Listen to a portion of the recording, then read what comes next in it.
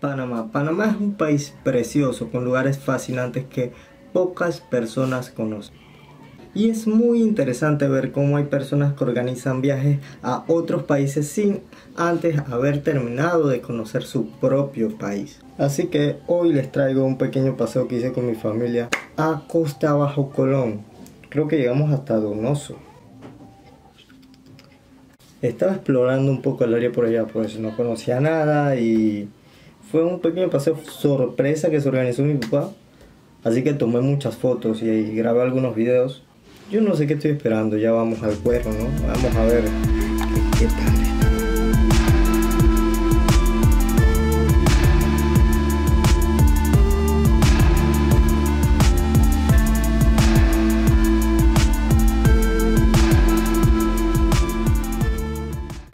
Bueno, después de ese corto viaje llegamos la zona del puente, que no tomé ninguna foto ni video del puente estaba, estaba viendo, estaba explorando, ya te digo que no lo capturé todo, pero sí fuimos después a el área de las exclusas de la ampliación donde está el lago Gatún y toda la locura y tomé unas fotos como esta.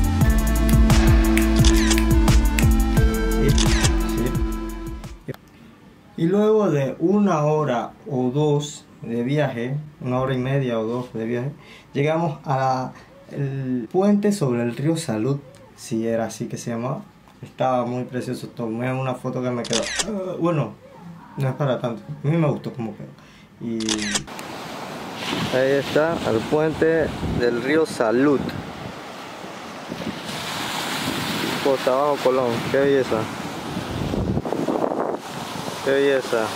Y claro, después de todo ese recorrido llegamos al área donde queríamos ir, que era el río Indio. Créeme que hay un ángulo donde se ve súper precioso, se ve todo el cauce del río así, todo, bien sexy, bien sexy. Y bueno, tomé unos videitos por ahí.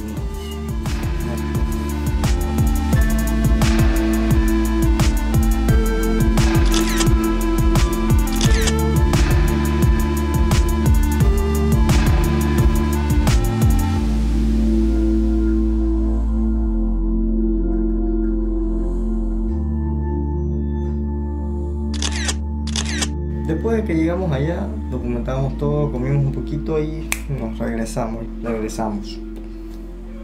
Hubiese estado súper cool poder documentar todo. Sí, no soy un buen travel blogger.